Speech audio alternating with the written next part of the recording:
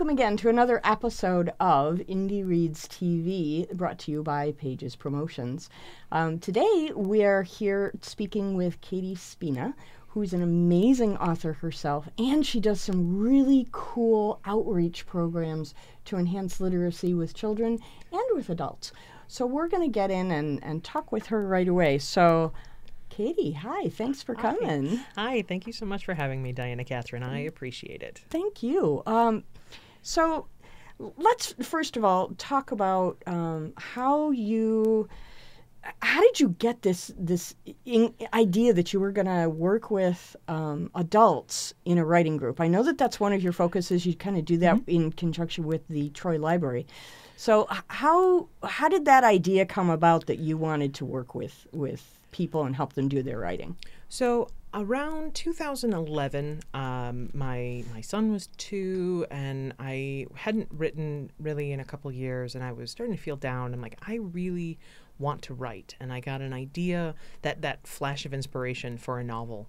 And I started writing, and I realized I needed a community. That yes, you write alone, but it's hard work, and Sure. it can be harrowing, and it and it can get frustrating, especially when you're struggling with um, depression or anxiety.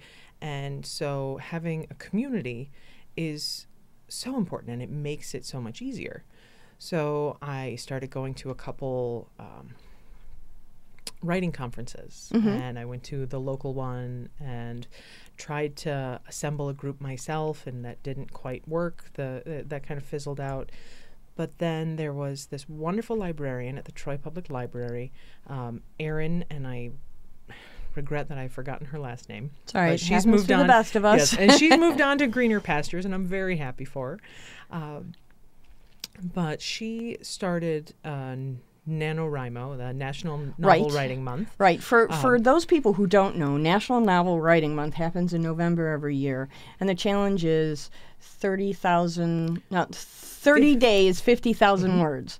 Works out to sixteen sixty seven words, sixteen hundred sixty seven words per day, which I find very doable, but a lot of people kind of scoff at it. My problem with NaNoWriMo is it's at Thanksgiving. And I'm usually cooking, so that's my biggest challenge.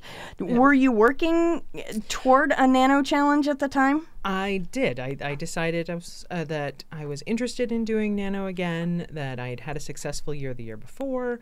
And so I joined the library group and I didn't make it to 50,000 words, Okay. but I did form a nice relationship with Erin. And then she started the adult writers group at the Troy Public Library. Mm-hmm. And we met and I started going and really enjoyed the group. And then Erin got a new job at a different library, and there weren't any other librarians that were interested in taking up the group and moving forward. And so it was such a, a benefit to the community that I couldn't let it go. And so I said, "All right, I'll I'll take it up." Well, we're really glad you did. um, just tell me briefly a little bit. What are the goals of the group? Is this a critique group? Is it a writing group? Is it a sharing group? What exactly does the group do? And then also let us know when and what time so that we can come too. Absolutely. So it's a critique group that is designed that is intended to uh, build and support writers and to build stronger writing. Okay. Um, so it is intent. It is designed as a safe space. So we don't insult writer. We don't insult writers. We don't insult the writing. Um, I am very conscious of my role as leader. So there will be times where I back up and I don't say a lot um, because my critique or my feedback may come off as harsh to uh, a newer writer um, because it's it's hard to Yeah. take to take feedback. Um, and we've evolved as the group has gone along. Um, so I try. I have a, an email list, and so I'll send out the pages beforehand, so that people get a chance to read them, and then uh, there I'll make copies at the library, and we sit down and we read through. It's a maximum of five pages, Okay. just because that that tends to be a good balance. That people tend to lose their interest after after five pages, Sure. um, and that lets us. We meet on the fourth Thursday of every month at Okay. the Troy Public Library Okay. from 7 to 8.30. Oh, wonderful. So okay. at five pages, we can usually have a good reading and discussion for at least two to three people. So, do you have to submit something in order to be a part of the group, or can you just come and lend your opinions and learn? Um, what's the requirement there? Everyone is welcome. You do not have to submit. You do not have to. Uh, you, you you don't necessarily have to contribute. Um, if you want to just come and listen, Okay. you are more than welcome to. Excellent. Um, we really appreciate people offering up their insight because everybody's perspective is different. And one of the wonderful things about the group is that we have lots of different writers. So we've had uh, nonfiction essays, we've had uh, magazine articles, uh, poetry. We've got some some poets as well as fiction. So we have short fiction pieces, portions of um, portions of novels. We've had the first five pages, a random five pages that a scene that someone was really struggling with. So it's it's a great variety and a very open group that the goal really is to make a stronger piece of writing. Excellent. I I know how important it is, being a writer myself. I know how important it is to have that feedback. Um, not just to know am I doing well or am I doing poorly, but simply to have a community to land with is really really nice to be able to say, oh, you know, th- there are people just as bizarre as I am in the world, and we all like the same weirdness. Um, so that having that community, I, I facilitate a writers group, as you know, on Wednesday nights. So it's nice to have that community to fall back on. So I, I really applaud you for stepping up when the librarian stepped out. Yeah. Well, and one of the fascinating things that happened with this group is it started and we were just sharing some pieces, and then there was a month where no one had anything to share. And it started to be, there were a couple months where no one had anything to share. So then we got to, into discussions about our writing practice Okay. and how to how to work through writer's block or how to find time how to make time rather Yeah, that make time, time balance thing is a challenge. exactly and that started me thinking about focusing on the writer uh, rather than the writing and so I've I've had this website katiespina.com for uh, for a few years now, and I was always trying to figure out what I wanted to blog about. What did I want to contribute to the writing community? Because there are so many great things out there, and so many um, wonderful insights about the querying process or um, short story prompts and things like that. And what did I have to, to offer to the community? And what I have is my experience as a writer. So I've got the degree in writing and the job, the professional job that's in the right that's writing for customer service and then in in manuals and things. So I've been very fortunate that my whole life gets to be about writing. Sure, yeah. and so um, I so I started the idea of the five minute free write because life gets so busy. I I'm I work full time mm-hmm. and I'm a novelist and mm-hmm. I have a nine year old son, and so finding that time to write can be A multitude of challenges. exactly, and sometimes just finding the motivation to write Sure. that I've got the time, I sit down, and where do I even start? And that's where the five minute free write comes in. So instead of having a story prompt where you have the stress of, okay, you're going to produce something, you're going to make something worthwhile or something that you would be willing to share with someone else, the five minute free write is literally five minutes to yourself, writing for yourself.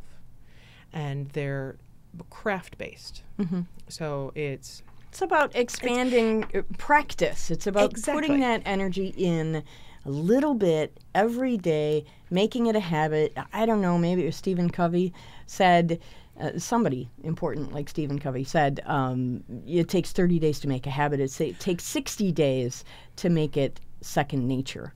So if you do a little bit every day, it doesn't have to be an hour every day. It can be five minutes every day. Exactly. So I, I like that you've given that ability, um, or, or that opportunity, I should say, to to writers to come to your website and say, "Oh yeah, I can write on that for five minutes," and then they can Yeah. strengthen their craft that way. Exactly. And it's explaining some of these and, and ex- explaining some of the the advice that we get in a different perspective because there's I've I'm sure you do the same thing that I read uh, I I'm probably down to like once a year, but I prefer every six months or so to pick up a new book on craft, mm-hmm. and you know, an editing book, how to how to edit for, and how to do this or how to do that, and it's the same advice, Right. just told from a different perspective, and it resonates with us differently. Sure. That some books that work for this person don't, Yeah. you know, and so I think I own hmm? the entire Writer's Digest library just for that reason, because even Yeah. though it might be another book on plot, it's hmm. presented in a different way that maybe you'll get a little piece that you didn't get on the last six books on plot. Exactly. Like self editing for what is it self editing for writers, I think is what it's called, the Writer's Digest. I loved that book. Yes. I thought it was Yeah. fantastic and practical and wonderful. Um, but it's was the same advice that is always given, you know, remove that and then things like that.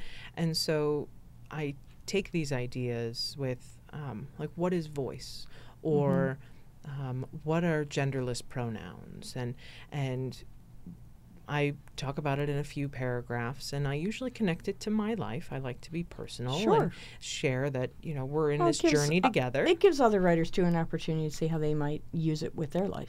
Exactly. And then, okay, so this is what we're writing up. This is what your focus and what we're writing on today. I think it's fabulous that you're you're building this community. This is just really wonderful. I, I'm remiss that I have not had a schedule that's allowed me to attend yet, but it's on my calendar. You gave me those upcoming dates, so I, Yes. I put them on my Yes. calendar. So I want to kind of segue a little bit. Um, I'd like to talk about this wonderful little thing. Yes.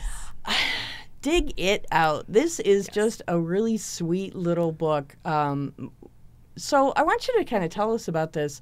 Um, how long ago did you publish, and uh, what was the inspiration for this fun little book? So I published this last year. Okay. Uh, I published this last April, so April 2018. And it started as a short story actually in March. Okay. That I wrote it on March 11th. And I know that because that is my dad's birthday. All right. Um, this year, my dad has been gone 15 years. I'm sorry. It's, it's, I've reached a good place with it, so thank you very much. Um, but his his birthday last year was just kind of a rough day, and I was at work, and I said I need to write something. I need to write something. I need to write something that'll uh, that I can write out these feelings, so that I can fully understand what it is that I'm feeling. mm-hmm. And I was trying to think of what a good topic would be. And I said, well, I had started the Awesome Authors Kids. I had a class of elementary students that I could write a story for. And I'm like, I will write something for my students. And out of that came Gigi the groundhog, who dug away from her feelings. And Nice. and she dug and, and but no matter how far she went, they caught up with her and and she had to recognize that her strength wasn't in this sweater that she had loved so much, but that strength was always inside her. And that she could be Brave Knight Gigi without her armor. Fun. And so and the drafting So, uh, process. Uh, the Oh, yeah. groundhog. How did you come up with the groundhog? Um, I think it had a lot to do with that we had a groundhog in our backyard that had dug out the posts to our deck so that it collapsed the deck. All right. So, like, well, groundhogs like to dig. Yes, they do. and I think all of these pieces, you know, all of those pieces of my life kind of came together into this. Okay, there's a groundhog, and what do you name a groundhog? Gigi. so, um, what age group is this book written for? It's a, a read to me, and then about at a, a second grade level. Okay. So an advanced first grader could probably read it to themselves. There are some larger words. Um, because it's self-published, some of the pages have more text than uh, These are a- just some really average. great pictures. And this one, I'm so glad you picked it. This one right here on the right is my absolute favorite picture in the whole book. that where she has her sweater tied around her neck like a cape. Like a cape, yeah, Yep. yeah. That's It's- wonderful. Yes, oh thank oh you gosh. so much. I'm I'm looking forward to sending this to my niece. I, I, my nieces and nephews have it. I actually just sent a copy down to my cousin and her children in Illinois. Fabulous. So I, I'm sending it all over. I'm I'm the aunt that gives books. So, So am I. yeah, I I'm the aunt that gives books. Mm-hmm. I, I have nieces and nephews, and and they all know what that square present is under the Christmas tree every year because you know oh that must be from Aunt Diana. Yeah. Yep. Yeah, Yep, I they all know it's a book. Oh, they yeah. they get it. Exactly. Yeah. Yeah. I don't do cards. You get a book. Yeah, Here's Yeah. a toy and a book. yeah, Yeah. And I rarely send the toy. but yeah, Uh, they're still they're still young enough that I'll get a toy. I'll give them a toy, but then it's two or three books. so um, awesome author kids.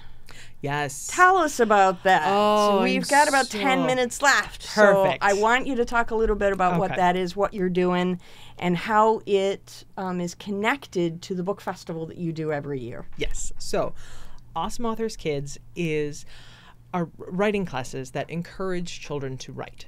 That writing is a skill, and where school focuses on how to do it right and how on grammar and and things. Awesome Authors Kids focuses on a willingness to do the work.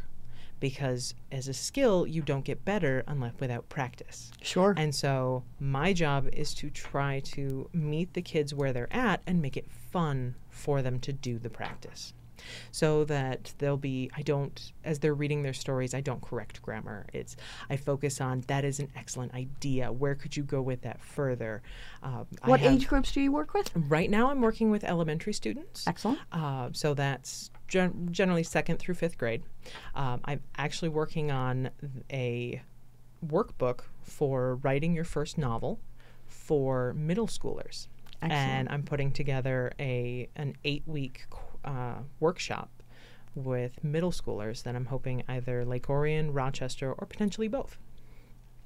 So are you in schools right now? I mean, now, Um, I'm- now because it's Yeah. summer, but are, are you working in partnership with some school districts now? Right now, I work with Morse Elementary in Troy School District, Okay. and uh, Principal Zendler is in wonderful. She's just wonderful, and the PTO has been incredibly supportive as well. Um, and part of the my ability to do that, to do the classes with Morse Elementary, is that I organize the Morse Elementary Book Bazaar Okay. which is like the Scholastic Book Fair, except all of the authors are there. And so it's we we've organized the cafeteria, and this year was our second year. We actually had 20 authors this year, which was Nice. phenomenal.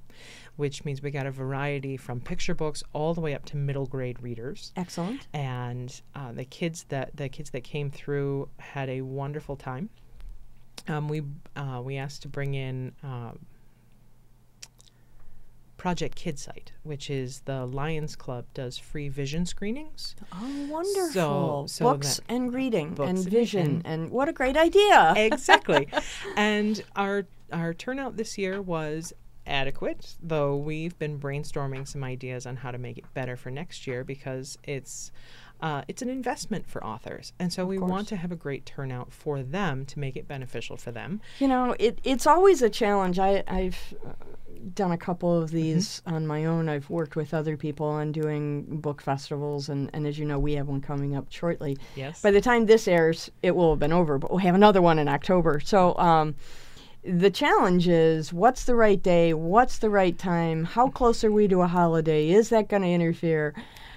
The list is crazy. Have you found really the is. same thing when you're doing this yes. and it's for a niche. You're you're working on a, a smaller niche than we are. yes. Um, you're just working with children's books, but have you found the same crazy list of oh my goodness, what do I take into consideration here? Yes, because what I failed to take into consideration this year, which really affected our turnout, was Mother's Day. Ah, that we had that I picked that I said it was just the same weekend that we did it last year. Only this year it was Mother's Day weekend. So it was the day before Mother's Day. A lot of people were already busy and couldn't come. Yep, yep. And so one of the things we're looking at is actually tying it into March's reading month. so that we'd have this event on the last Saturday of March, and it we'd build it up with the PTO, and we're looking at um, the, the one of the things that I love about the Morse PTO is they're very supportive of this event. That's great. And they very much, and so they want to make it a success. And so we recognized that we need to get the kids more engaged in wanting to come Mm-hmm. and really in, more incentivizing them to come. So we're Sure. looking at like bingo cards where or punch cards and if and they get their they get all of their punches from the different authors at the different tables and then they can earn they earn a prize or they earn a, you know they so get a piece of candy it- so it's kind It's- of like an author or a, a literary treasure hunt kind of an idea. exactly which would be a lovely way to really engage the kids Mm-hmm. and their parents or grandparents, whoever happens to bring them along. yes But how nice that you're giving children an opportunity to meet real live authors Yes. and and really talk to them about craft and talk to them about how they Mm-hmm. made their books. Um, That's a, a great service that you're offering children. Thank you. And the other half of that is that it allows the authors to find each other. That it's building a children's authors community. Because while I uh, I appreciate people like you that put on the events, there's the one at, there's the the book event at Leon and Lulu's Right. um, that they hold regularly. That there aren't many children going there, so mm-hmm. that the children's authors aren't necessary. They don't have that that kid saying, "Buy me this book." Right. You know, where if we have it engaged at the school and it's all children's authors, then then there's a, a bigger draw and to bring the children and to bring the families and It, it becomes more of an educational field trip than a shopping excursion. exactly, That's a great idea. exactly. If there's And- any way that we Yep. can help, you know, we definitely want to have you back Yep. on for another show just before the Yes. event goes on. But if there's any th- way that we can help to promote or to support, please let us know because we do a lot of community service work with children as well. Mm-hmm. So I want to make sure that you get the full measure of support that you've got coming. Thank you. I- This is a I will. really important issue. I'm very Yes. passionate about literacy with children especially.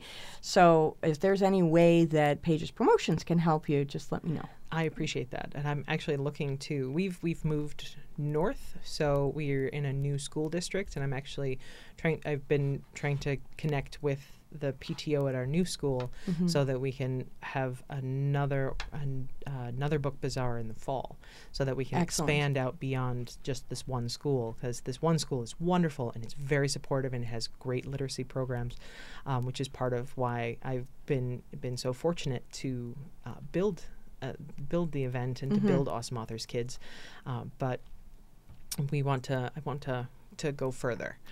So uh, we've just got about five minutes left. Mm-hmm. Uh, tell me a little bit more about Awesome Authors Kids and how parents can get their children involved.